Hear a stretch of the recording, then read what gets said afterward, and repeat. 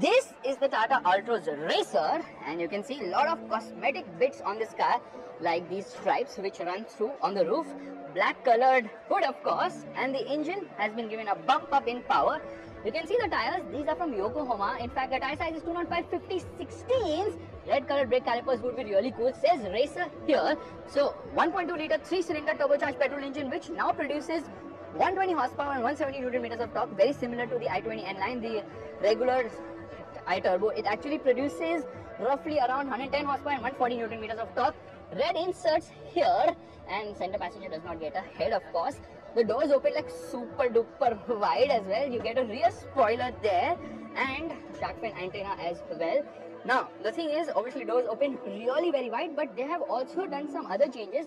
Like this looks nice. You get seat ventilation for both the front seats and the instrument cluster has been revised and so has been the infotainment. So the infotainment system is new here, which is quite nice as well.